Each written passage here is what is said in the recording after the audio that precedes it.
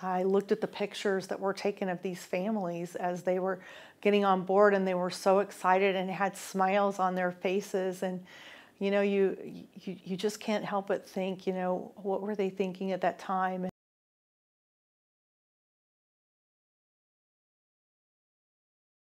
When we got there it was still raining. It just kind of finished. The storm had just almost quit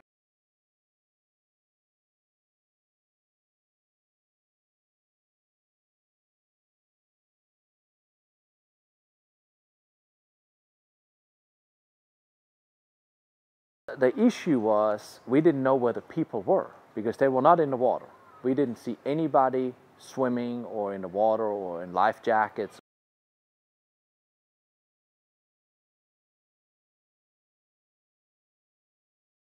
And I think it was pretty clear to everybody right off the get-go that it's going to be a major event.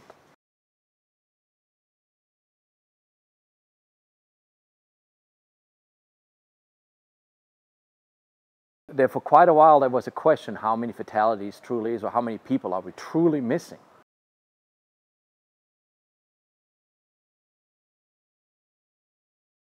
At the very end it turned out we had um, obviously the seven, 17 fatalities.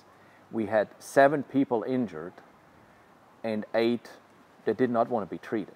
Uh, that's obviously a very high number of fatalities.